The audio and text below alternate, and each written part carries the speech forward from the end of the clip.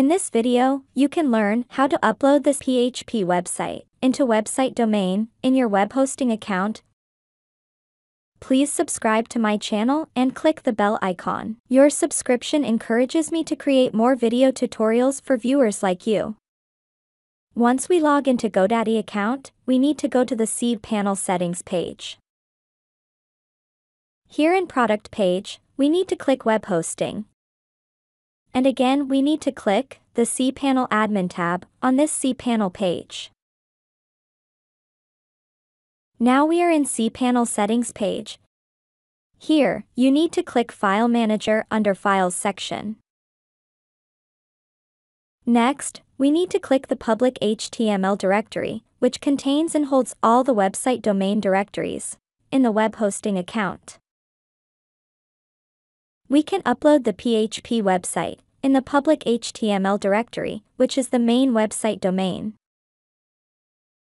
Here, contentzon.com is my primary or main website domain. We need to click the Upload tab link in the top and select the PHP website. You can see the entire PHP website files and folders here. First let's add these files and folders to a zip folder, so it's easy to upload the website files at a time, rather than upload each file and folder one by one.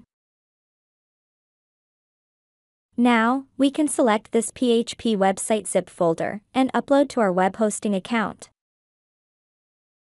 Next, once it's uploaded, we can go back to the public HTML directory.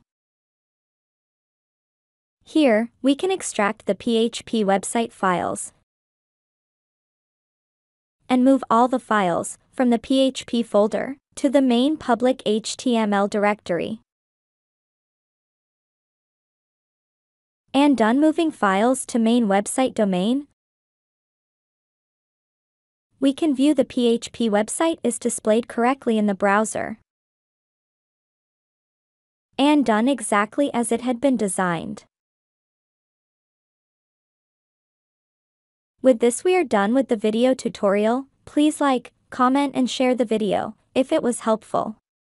And do not forget to subscribe to my channel, to get video updates when new content is added.